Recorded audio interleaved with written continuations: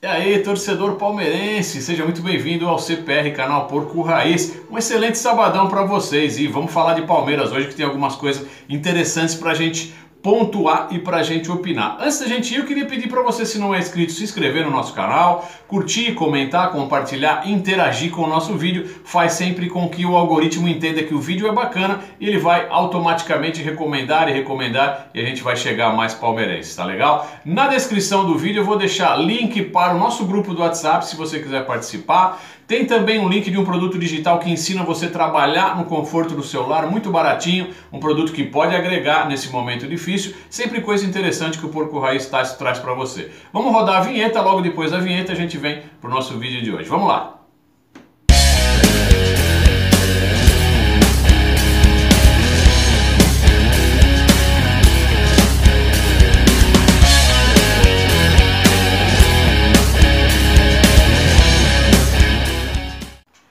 torcedor, a vida do palmeirense não anda fácil, né? Anda bastante complicada, perdemos títulos, é, estamos aí com jogadores voltando, mas não são jogadores que a gente queria, enfim, não é fácil ser palmeirense, hein, torcedor? Não é não. O que eu queria comentar de primeira com vocês é que o presidente do Santos deu uma entrevista lá para o Nicola, né? A gente sabe como é o Nicola, mas assim, a entrevista e quem falou foi o próprio presidente Santos, foi perguntado sobre o interesse no Marinho e no Caio Jorge, né? O interesse dos clubes nesses dois jogadores e ele não descartou não que há interesse do Palmeiras no Marinho e no Caio Jorge. O que ele disse foi o seguinte: olha, a gente conversa sempre, todos os dirigentes de futebol conversam, né? Os cartolas estão sempre conversando semanalmente, às vezes de dois em dois dias, e houve sim uma sondagem por parte do Palmeiras nesses dois atletas. Não há nenhuma proposta, mas que houve uma sondagem, uma checagem de possibilidades, houve sim. É claro que a gente já, não adianta a gente alimentar expectativas, achar que o Palmeiras e que o Gagliotti vai trazer, vai contratar alguém, principalmente com esses retornos que estão, que estão acontecendo. Mas que houve um certo interesse, uma certa sondagem, houve e a obrigação aqui desse cara trazer para vocês essa informação. Vamos para a próxima.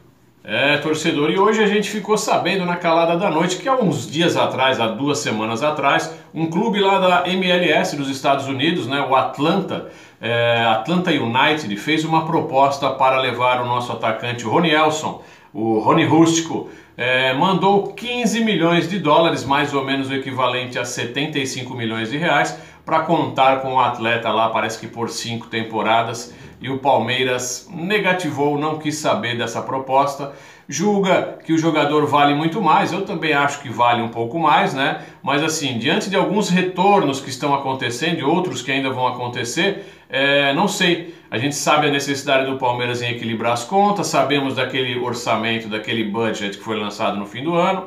E o que, que você acha, torcedor? Que por esse valor deveria vender o Rony? É, sabendo que a gente só tem 50% do Rony, então tem que pensar bem antes de bater o martelo, tá? É, o importante é que o Palmeiras recusou e o que, que o Palmeiras fez? É, ainda acrescentou um ano de contrato com o Rony, aumentou a sua multa contratual e ainda aumentou o seu salário em mais ou menos 35%. Então, o Palmeiras valorizou esse atleta justamente porque acha que ele nesse momento não deve deixar o Palmeiras. Mas deixa o seu comentário aí, eu queria muito saber o que, que você acha dessa valorização do Rony em contrapartida a esta oferta que foi recusada pelo Palmeiras. Vamos para mais uma.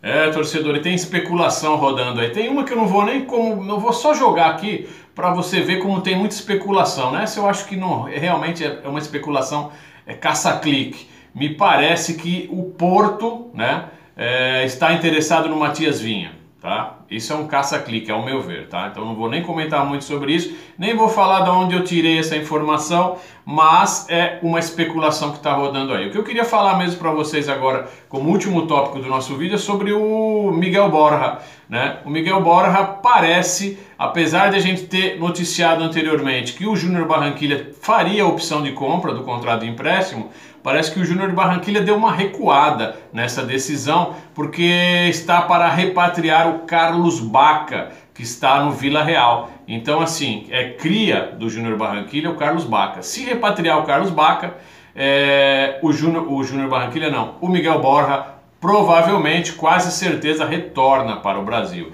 A gente não sabe se o Palmeiras já está vendo alguma possibilidade em negociá-lo antes de que ele volte, ou se de repente ele volta é, e tenta ser utilizado por aqui, por aqui pelo Abel Ferreira, a gente ainda não sabe detalhes, ainda não sabemos se vai ser dessa maneira, tá? Tudo indica que sim, que vai ser repatriado o Carlos Baca e que aí o Miguel Borja perde espaço no Júnior Barranquilha e aí provavelmente não exercendo a opção de compra ele volta aqui para o Palmeiras, tá legal, torcedor?